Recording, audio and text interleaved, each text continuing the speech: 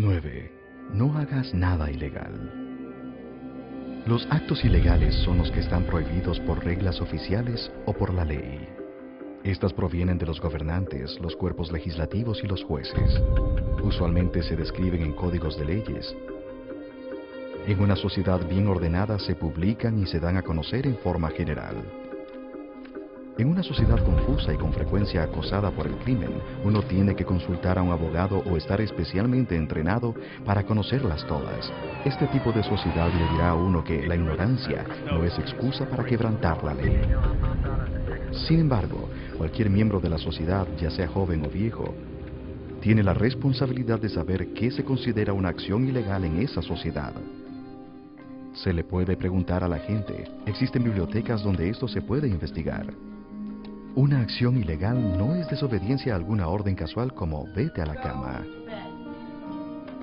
Es una acción que si se hace puede tener como resultado un castigo por parte de los tribunales y el Estado. Ser expuesto al escarnio público por la maquinaria de propaganda del Estado, multas e incluso encarcelamiento.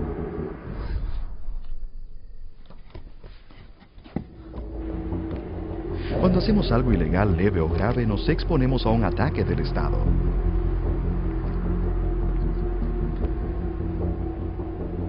No importa si nos atrapan o no. Cuando cometemos una acción ilegal, debilitamos nuestras propias defensas.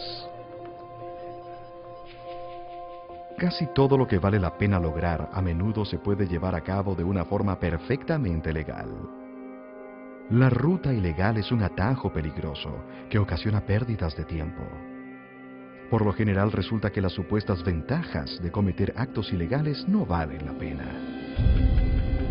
El Estado y el gobierno tienden a ser una máquina que en cierto grado no piensa.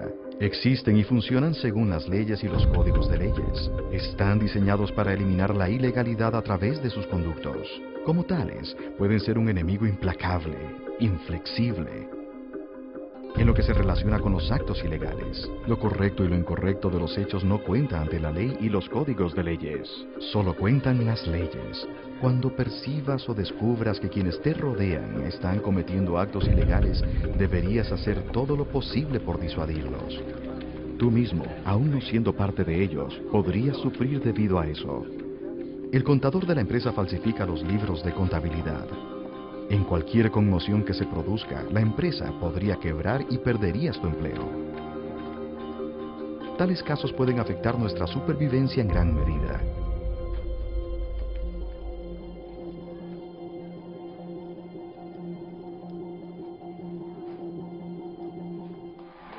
Como miembro de cualquier grupo sujeto a leyes, alienta la publicación precisa de esas leyes para que puedan ser conocidas apoya cualquier esfuerzo político legal que reduzca, aclare y codifique las leyes que se aplican a ese grupo. Apoya firmemente el principio de que todos los hombres son iguales ante la ley. Un principio que en su propio tiempo y lugar, los días tiránicos de la aristocracia, fue uno de los avances sociales más grandes de la historia de la humanidad y no se le debe perder de vista. Asegúrate de que se informe a los niños y a la gente lo que es legal y lo que es ilegal. Y hazles saber, aunque solo sea frunciendo el ceño, que no apruebas los actos ilegales. Sin embargo, quienes las cometen, incluso cuando se salgan con la suya, son débiles ante el poder del Estado. El camino a la felicidad no incluye el miedo a ser descubierto.